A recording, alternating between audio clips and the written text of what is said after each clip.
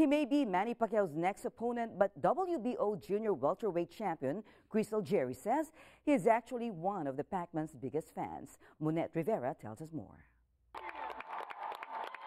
Undefeated World Boxing Organization WBO junior welterweight champion Chris Algieri is gearing up to face the fighter of the decade, Philippines Congressman Manny Pacman Pacquiao, on November 22 at the Venetian Macau Arena.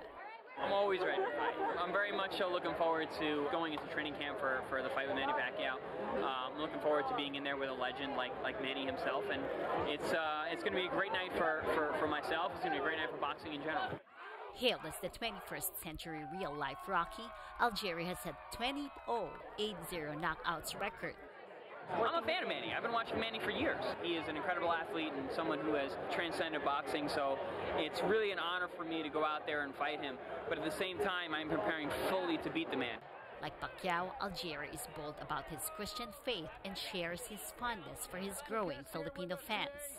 I actually think me and Manny have a lot of things in common. Manny has an incredible desire to help people around him, and I feel I have the same affinity.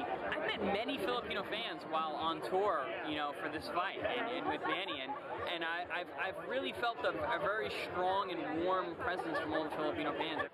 On Saturday, Chris Algieri, an advocate of education, was honored at the annual Wolfstock homecoming celebration of his alma mater, Stony Brook University, where he graduated with a Bachelor of Science in Healthcare Management in 2007. We're incredibly proud of him. He was an honors student at Stony Brook, so a great student. But he's gone on, as you know, to a career in martial arts, uh, and now is also the light welterweight champion.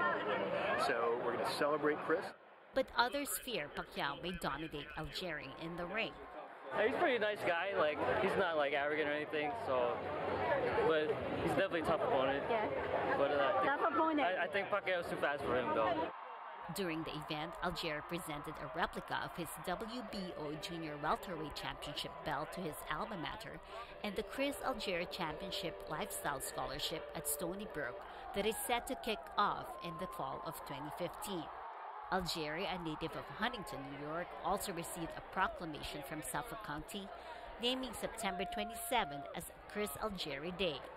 Monette Rivera, ABS-CBN News, New York.